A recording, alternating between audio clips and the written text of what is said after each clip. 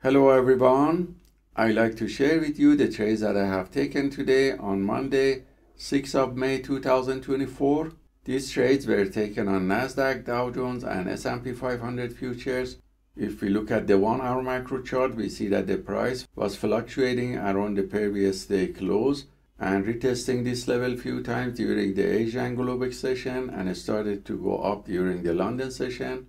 And by looking at 10 minute macro chart, we see that the price initially started to go up. So when the price reached this area and it was in uptrend, this wave of uptrend around 10 o'clock was taken on Nasdaq, Dow Jones and S&P 500.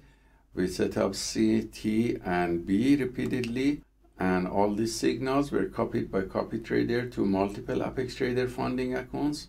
And we see here the performance of one of these accounts which was positive showing profit factor of 6.47 and the win rate around 79% from the long positions taken and average win to loss ratio of 1.72 the largest winning trade was 255 and the largest losing trade was $84 so hope this trade taken by the PAAT system for fast scalping is useful for you and let us know if you have any questions. Have a wonderful day